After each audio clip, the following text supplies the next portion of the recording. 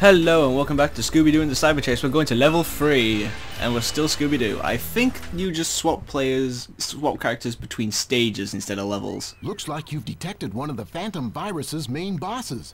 Defeating him should get you out of Japan and back to safety, Scooby. Oh no, and it's the samurai from the second episode. You can try to get past this boss, but you will not succeed.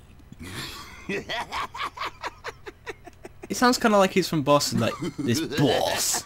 Okay, Scooby. You'll need to pay attention to the warrior's patterns. It's the only way to defeat him. Avoid his attacks until you're given a chance. Then throw a pie at him. Three times should do it. Are you ready, Scooby? I guess so. Yeah, this game kind of panders to you in this boss battle. Uh, so yeah. Oh, okay. Yeah, look, like how how much more, you know.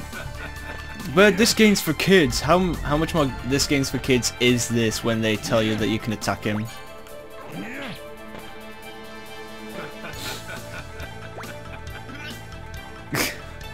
This is gonna be one of the shortest episodes. Oh, oh god. Ow, ow, ow. No, don't kill me. And he's dead. Yay.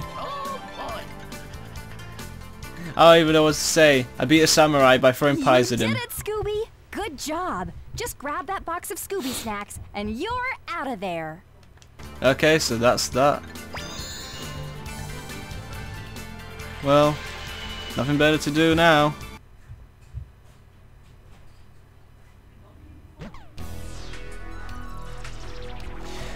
So, that was the end of this episode.